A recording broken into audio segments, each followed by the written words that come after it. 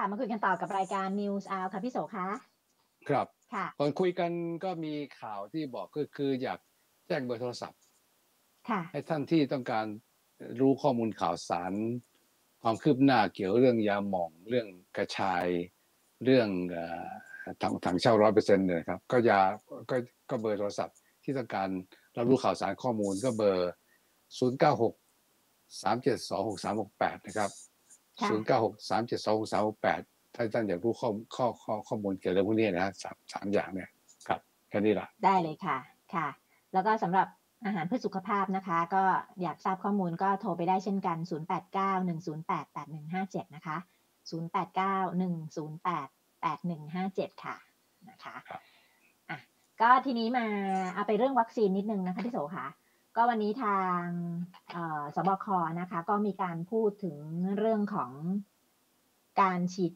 อ่าการฉีดวัคซีนนะคะ แล้วก็ปริมาณวัคซีนที่กำลังจะเข้ามาตั้งแต่ช่วงกันยายนนี้ไปจนถึงสิ้นสิ้นปีนะคะ ก็กันยาถึงธันวาคมนี้นะคะ วันนี้หมอทวีสินบอกว่าเราจะมีวัคซีนมาอีก 50 ล้านโดสเลยนะ ถ้าเกิดว่ารวมจากก่อนหน้านี้ที่เข้ามาอีกเอ่อเข้ามาแล้วเนี่ย 126.2ล้านโดส จนจบสิ้นปี เราก็จะมีวัคซีนถึง 178.2 ล้านโดสค่ะ อันนี้เป็นตัวเลขนะที่วันนี้ที่ทางสบคก็รายงานมานะคะพี่โสก็ แต่ลองลองอ่านดูสิว่าเขาแฝงเขาว่าอื่นๆนะคือซิโนแวคนี่นี่อ่าเดี๋ยวลงลงละเอียดนิดนึงว่า กันยาอ่าตุลาแล้วกันนี่เราสิ้นเกินกำลังจะสิ้นกันยาละตุลา บอกว่าจะเข้ามาอีก 24 ล้านโดสอ่าใช่ แต่ว่าไม่ได้ลงนะ ว่าเป็นอะไรยังไงบ้าง คือวันนี้เขาแบ่งเป็นงี้พี่โส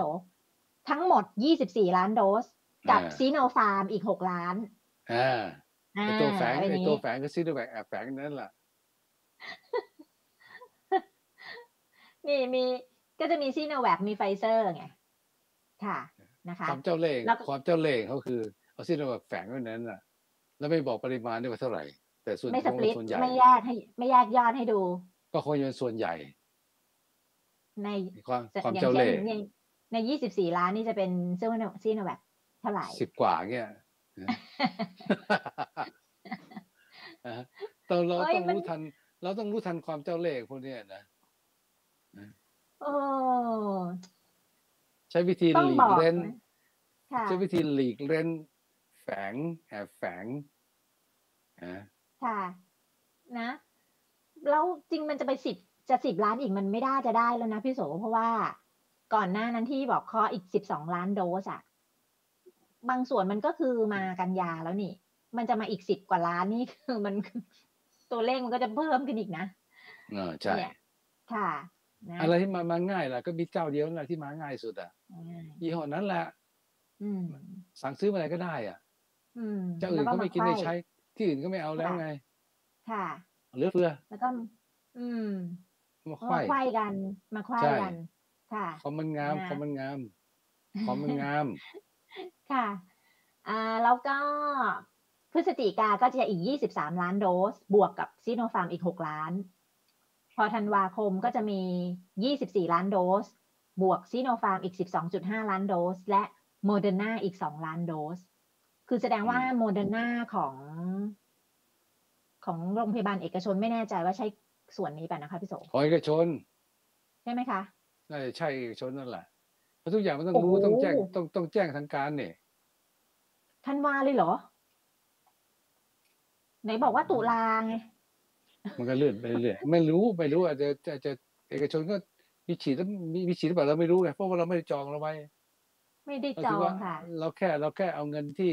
ฉีดไปจากเงินภาษีของเรามาฉีดของเราก็โอเคแล้วพอแล้ว ค่ะ ใช่ เงินเราไปอยู่ในที่ภาษีไง ใช่ใช่ค่ะอ่าแล้วก็มีอีกมติหนึ่งอ่าก็คือเรื่องของการอ่าเห็นชอบตามกระทรวงต่างประเทศเสนอว่า มีประเทศในยุโรปพร้อมขายต่อวัคซีนให้ไทยในราคาต่ำกว่าตลาดค่ะพี่โส เออเออก็คือมีสเปนจะขายแอสตราเซเนกาให้เราเนี่ย แสนหกหมื่นห้าพันโดส ในราคาโดสละสองจุดเก้ายูโรพี่โสสองจุดเก้ายูโรเท่าไหร่ร้อยกว่าบาทเองมั้ง ใช่สามสี่ร้อยยี่สิบต่อเออใช่ก็ตีเท่าสี่สี่สิบบาทนะเออ ก็เกือบร้อยยี่สิบาทเออใช่เพราะนี่120สองจุดบาทเก้ายูโร ค่ะ นี่คือสเปนนะใช่แอสตราเซเนกาจะขายแอสตราเซเนกาโดสละ2.9ยูโร ให้เรา165,000โดส และมีไฟเซอร์ อืมอีก2ล้าน7แสนกว่าโดสพี่โสอืม2.7ล้านโดสเนี่ย จะขายให้เราในราคาโดสละ15.5ยูโรค่ะ แพงนะ15.5ยูโร แพงแพง7-800อยู่นะใช่ไหมคะ แพงใช่ใช่แพง ค่ะ ค่ะ ค่ะ นอกจากสเปนแล้วยังมีฮังการีอีก ฮังการีก็จะขายแอสตราให้เราสี่แสนโดส ราคาโดสละ อันนี้ถูกกว่าสเปน หนึ่งจุดเจ็ดแปดยูโรอืมสองแล้วสองยูเราไม่สองซื้อเราไม่ซื้อเราซื้อซื้อหนึ่งแบบดีกว่า เราไม่ซื้อเราซื้อซื้อแบบนี่ดีกว่าคอมมันงาม ค่ะ นี่ก็มามามามามาเก็บตกจากประเทศในยุโรปที่จะขายให้ในราคาต่ำกว่าตลาด ไม่รู้ก็ทำไมเหมือนเขาขายเราราคาต่ำกว่ากันมันจะหมดอายุเหรอพี่โสไม่รู้ ไม่รู้ ไม่รู้ อันนี้คือข้อเสนอของกระทรวงต่างประเทศเออเออทำไมไม่ถามอืมด้วยอายุมาขายเราพันตอนอายุเหลือกินเหลือใช้แล้วเหรอถามสิอืมหรือเขาอ่าใช้ฉีดไปเยอะแล้วหรือเพราะเปล่าว่าหรือเขาเขาก็รับวันนี้เขารับ1.2แสนโดสจากสิงคโปร์เนี่ยเอซัเนี่ยแอสตราเซเนกาใช่เนี่ยค่ะค่ะใช่ไหมเออค่ะใช่เยอะนี่ใช่ค่ะเพราะว่าใช่ไทยแลนด์ชอบของฟรีนะ นี่อะฮะ เขายังรอรอของฟรีจากไฟเซอร์จากอเมริกาอีกนะอีกรอบหนึ่งอืมใช่อีกร้านหนึ่งใช่ร้านโดแต่ถ้าสซื้อ ถ้าซื้อขอซื้อซิโนแวคแล้วกันมันจะได้คอมงามหน่อยหนึ่งที่เหลือขอเป็นของบริจาคโอ้โหเอางี้ดีไหมเอางี้ดีไหมพูดให้ตรงใจดำเป๊ะเลยไงนี่เป็นนโยบายแบบสุดยอดเลยนะฮะพูดให้ตรงใจดำถ้าเป็นอย่างนั้นจริงไหมนะที่ทุกคนแทงใจดำหรือเปล่า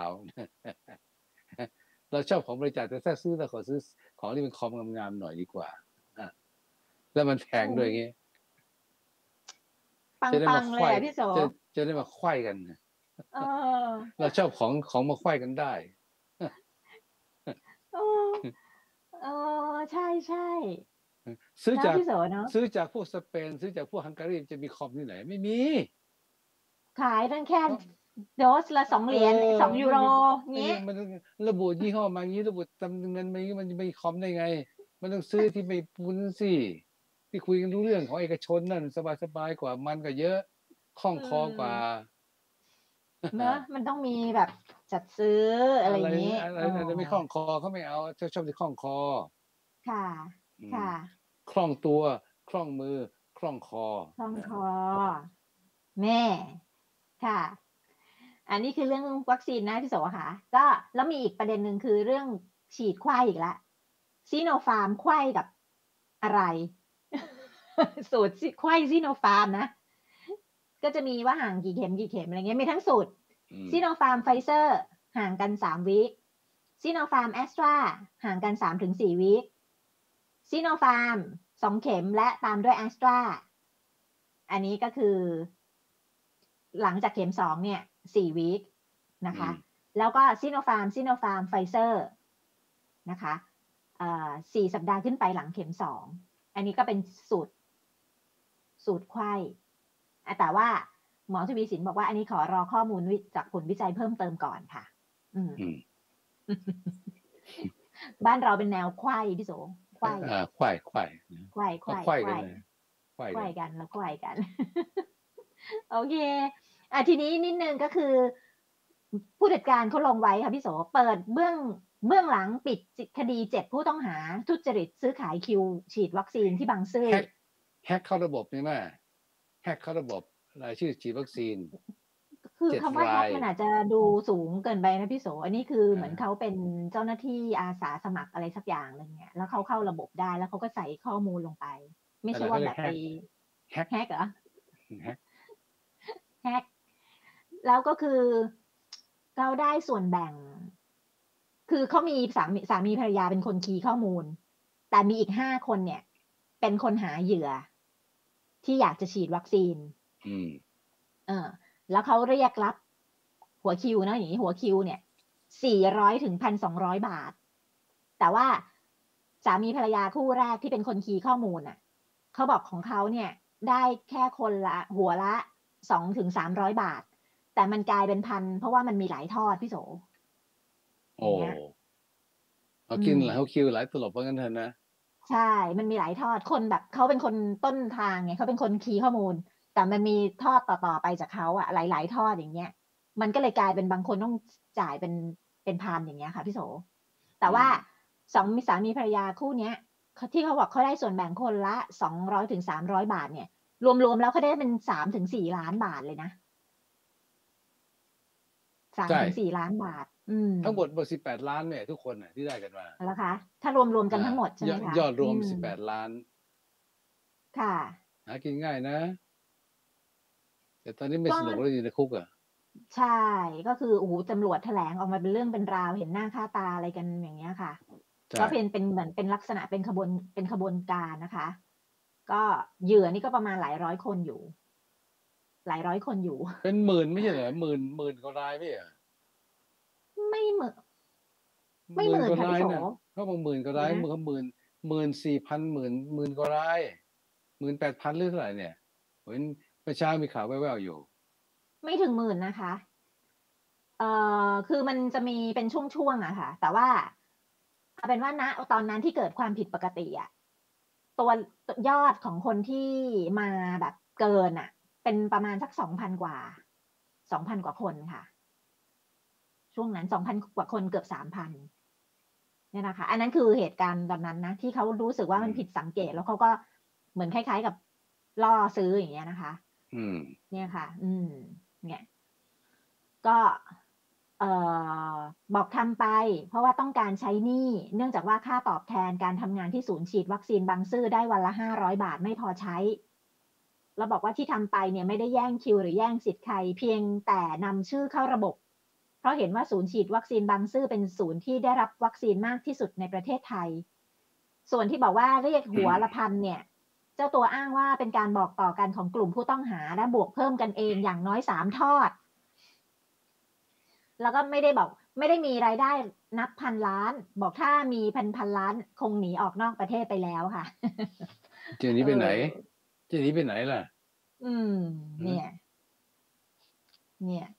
นี่นะคะ ก็ถูกจับได้ค่ะอืมทั้งหมดเลย นะก็สองสามีภรรยาแล้วก็อีกห้าคนใช่นะคะไม่สนุกแล้วอยู่ในค่ะคุก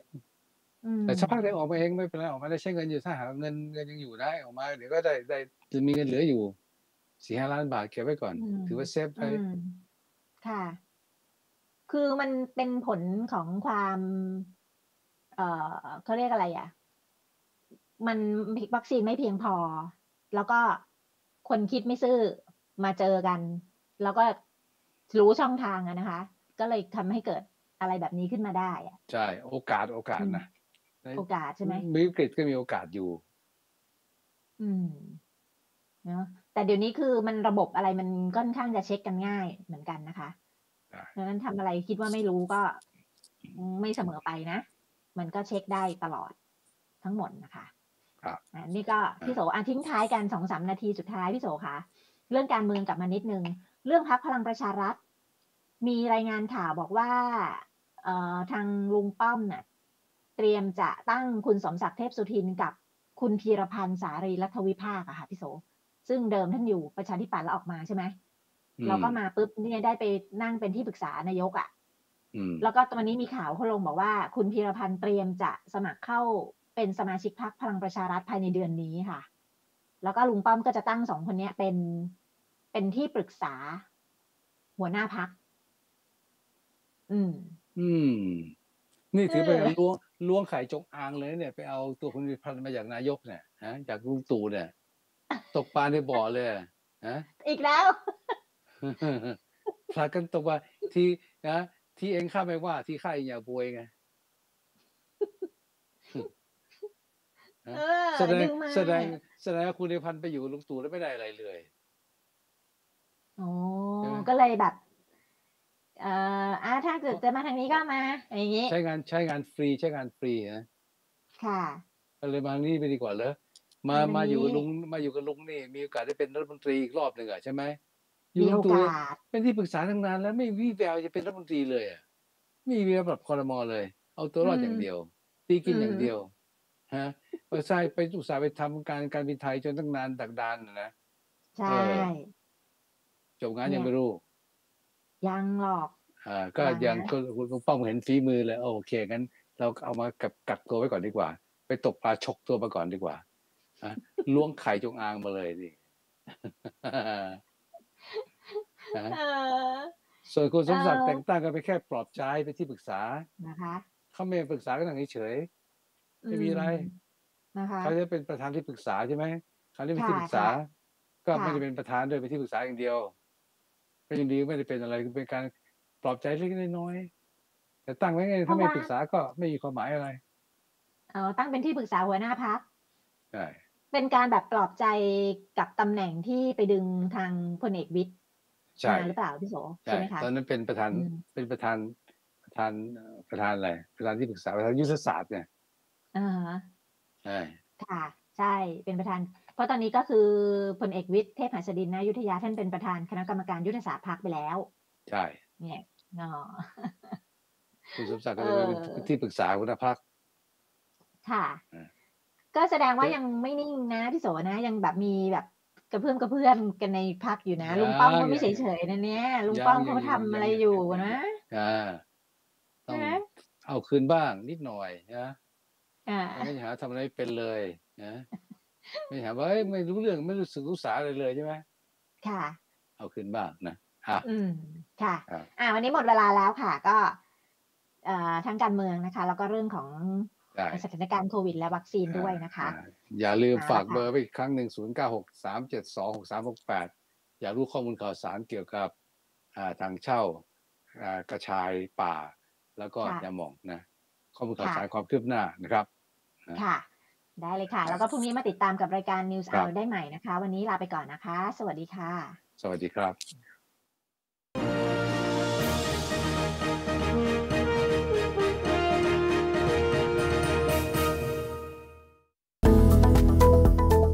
กแห่งข่าวสารไม่หยุดนิ่ง